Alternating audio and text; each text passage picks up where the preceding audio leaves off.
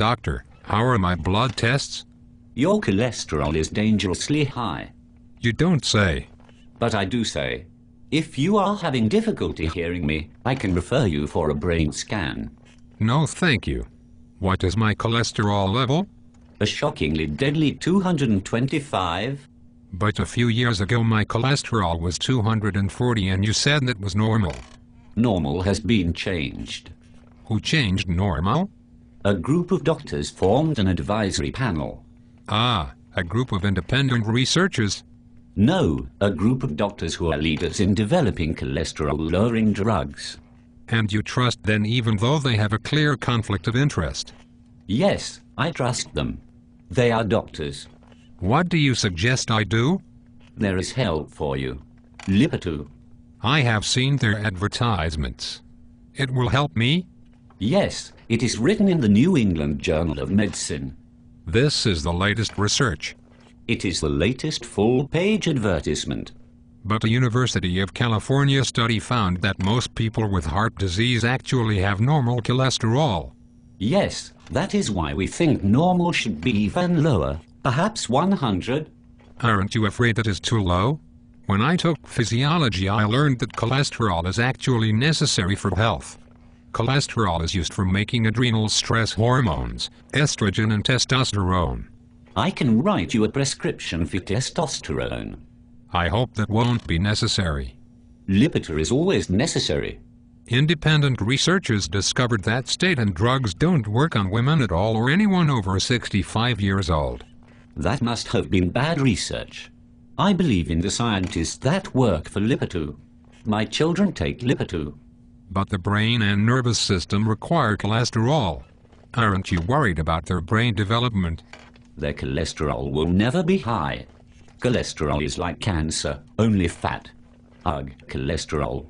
What do you think of the fact that the French have high cholesterol but lower rates of heart disease? That is called the French paradox. We do not know why that happens, maybe the wine. And the Swiss also have higher cholesterol, but lower rates of heart disease. That would be the Swiss paradox. Perhaps the holes in their cheese. And the same in Spain? The Spanish paradox. Perhaps the bullfighting. However, in Russia they have lower cholesterol, but higher rates of heart disease. The Russian paradox. Communism is almost as bad as cholesterol for the heart.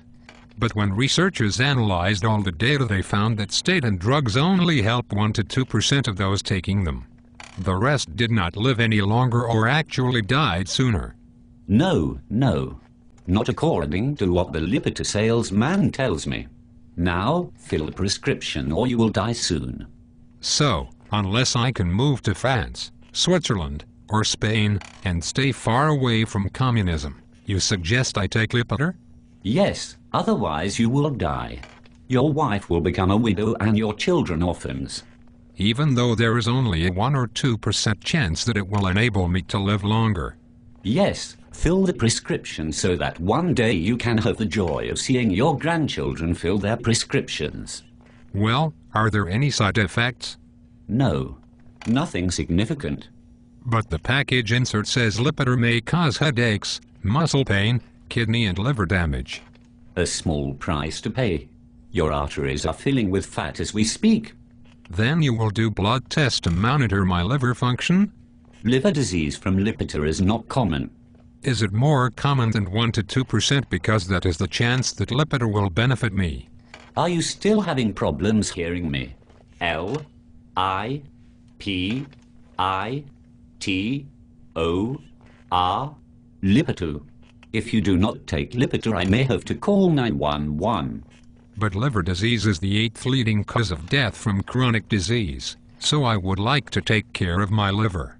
If you insist, I will monitor your liver function, testosterone, estrogen, and your cholesterol. Cholesterol B, A, D, bad. Not for the French, Swiss, or Spanish. I do not deal in paradoxes. I deal in Lipitor. Now your eight minutes has expired. Fill your prescription for Lipitor or we have an ambulance ready to take you to the cemetery. I hope you understand how confusing this is. There is no relationship between cholesterol and heart disease and little to no chance of it increasing my lifespan and yet you prescribe Lipitor. Yes, it is difficult to understand if you are not a doctor. It is called the Lipitor paradox.